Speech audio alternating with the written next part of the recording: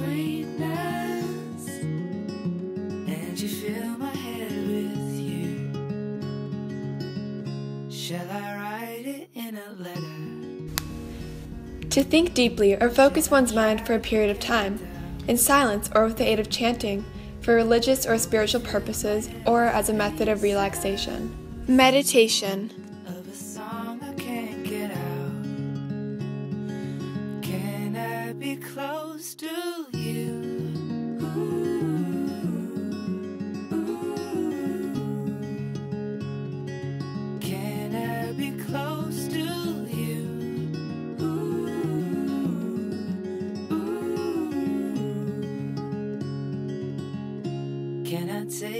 The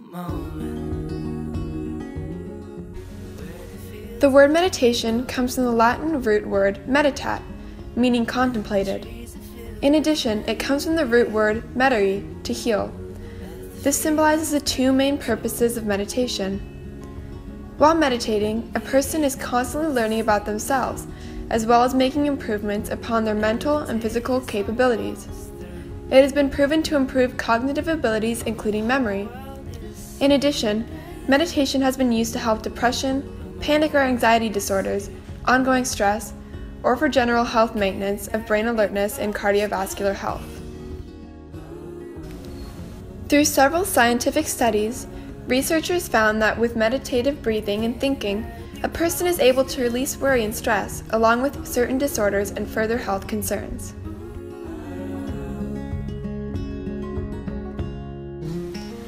Martha O'Boyle from Fremont, California, was suffering from chronic pain in her arms and chest ever since she had a heart attack.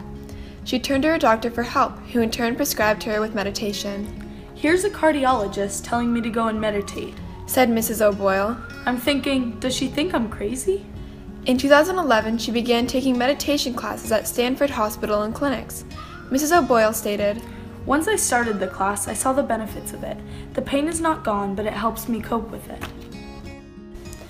Lenina King, aged 43, writes, I've had high blood pressure for five years, and I've been on so many different medications to try and lower it, but only meditation finally did it. I went from 170 over 110 to 120 over 80. It's really calmed me down. A study was conducted in 2012. Researchers examined and compared brain images of 50 adults who have started practicing the art of meditating and 50 who do not. The results suggested that people who have been meditating have more folds in the outer layers of their brains. The process is called gyrification and can increase a person's ability to process information. There is a constant energy exchange every time you get to take your seat, and that energy became very attractive to me.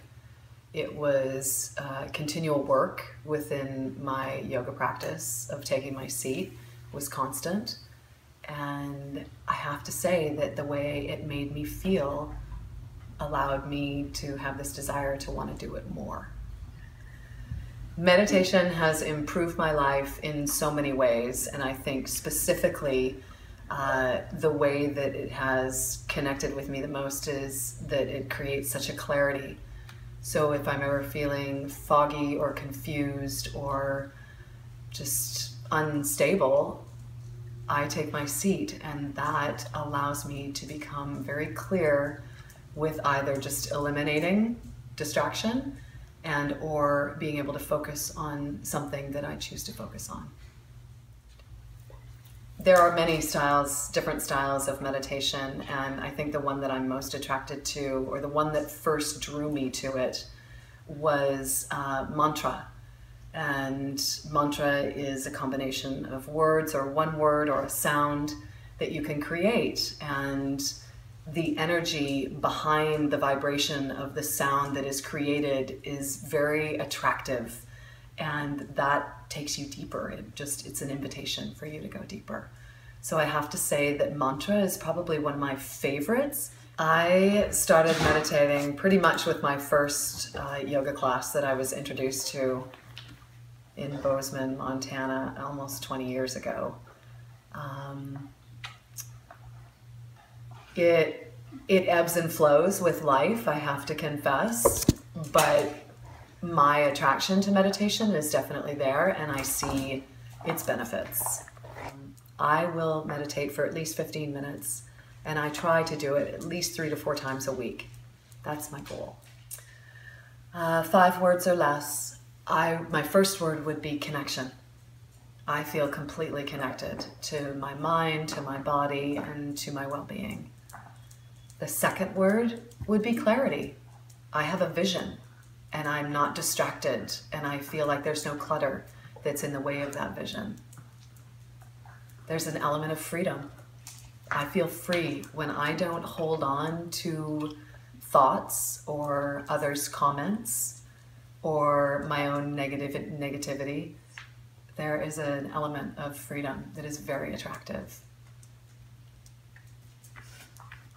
I feel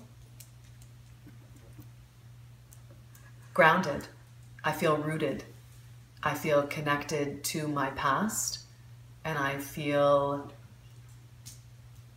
insightful for my future. I feel grounded. And I think the last word love. When we look after ourselves, we love ourselves. And when we love ourselves, we can love others. Meditation gives me that peace and love. Meditate. Well, I feel like meditation is part of our own self care.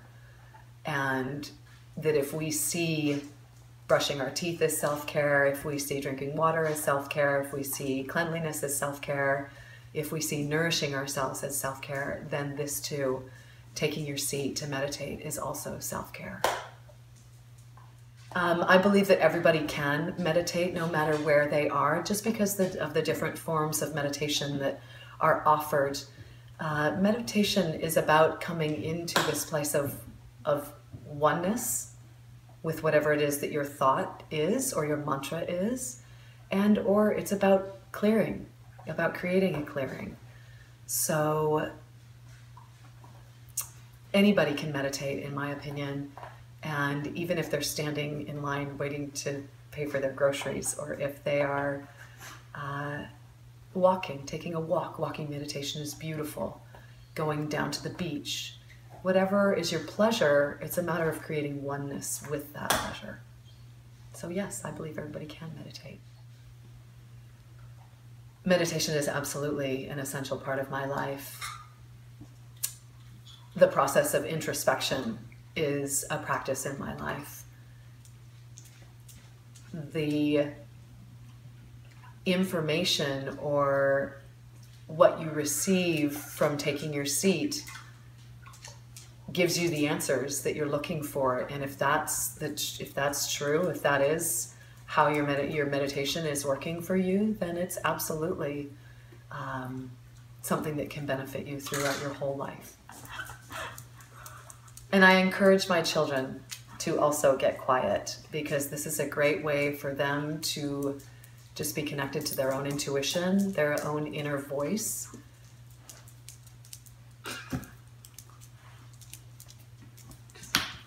Meditation is for everyone. Run, run, don't tell me It seems as if our mind is like a balloon in the wind, blown here and there by external circumstances. If things go well, our mind is happy, but if they go badly, it immediately becomes unhappy. Meditation is a way to control your happiness levels by allowing your brain a break from the everyday stress and worry encountered in life. So, how does one actually meditate? We will show you in one easy way. Go into your bedroom, close the door, turn the ringer off of any phones, and put on relaxing music. For five minutes, close your eyes and give the tune your total attention. Sense the rhythm, the feeling of motion in your body, and the internal sounds as you sing or think along the lyrics. The perfect time for meditating is first thing in the morning and before you go to bed, and any other occasion when you want a time out or need extra concentration.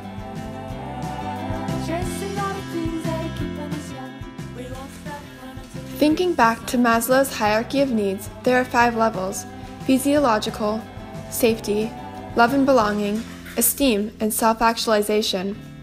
Many have access to food, water, safety, love, family, friendship, and esteem. Not many have reached the point on top.